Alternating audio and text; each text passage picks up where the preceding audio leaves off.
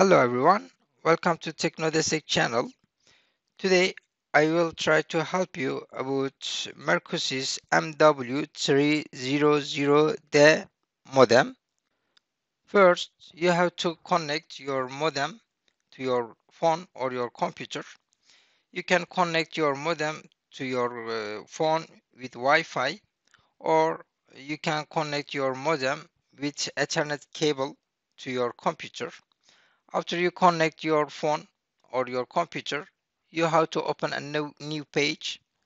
And in new page, you, you can type 192.168.1.1 or also you can type mwlogin.net this page two uh, these two different page it will make uh, open your settings about your modem. Then here username and password page will appear. You have to type your username and password. In here username is admin password is admin. After you type both of them you have to click on login. After you click on login you will see this page if it's first time that you are logging to this uh, modem settings you will see quick start part. All in here you have to do you have to click on the next button.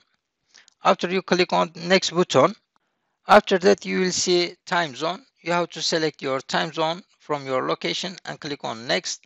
And here you will see username and password. Your username and password is which you have to get from your internet service. You have to type it and after you type your username and password, you have to click on next button.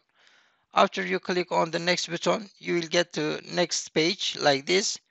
This disabled, you have to uh, be sure about that. Click on the next and after that, quick start will complete. You have to click on save button after you click on save button, your internet will start to work.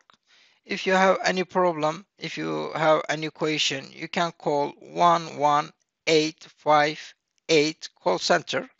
If you call this number, they will help you about your problem or if you have different questions, different problem. Also, you can call this number, they will help you. Thank you very much for watching. Please don't forget like it. Have a good day. Bye.